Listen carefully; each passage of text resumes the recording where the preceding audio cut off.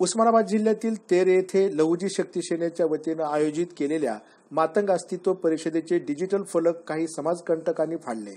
हे कृत्य करणाऱ्या आरोपींना तात्काळ अटक करून त्यांच्यावर योग्य ती कारवाई करावी अशी मागणी लहुजी शक्ती सेनेच्या वतीनं बारामती शहर पोलीस प्रशासनाला एका निवेदनाद्वारे करण्यात आली. दरम्यान लवकरात लवकर त्या समाजकंटकाला अटक करावी अन्यथा संघटनेच्या वतीनं तीव्र आंदोलन करण्यात येईल असा इशारा संघटनेच्या वतीनं देण्यात आला आहे. तर काही आज्ञात समाजकंटकांनी जाणीवपूर्वक फाडलेले आहेत.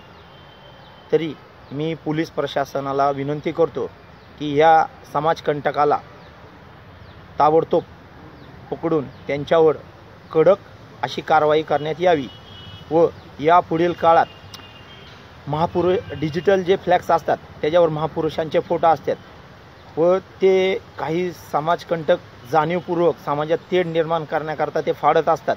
तरी या पुढील काळात असं होऊ नये महापुरुषांचा अपमान होऊ नये यासाठी पोलीस प्रशासनाने दखल गंभीर दखल घ्यावी व जो कोणी समाजकंटक आहे ज्यांनी फ्लॅक्स फाडलेले आहे सम मातंग समाजाचे भावना दुखवलेले गेलेले आहेत तरी त्याला अटक करण्यात यावी व तसं न झाल्यास लहुजी शक्ती सेनेच्या वतीने या पुढील काळात आणखीन तीव्र आंदोलन केले जाईल.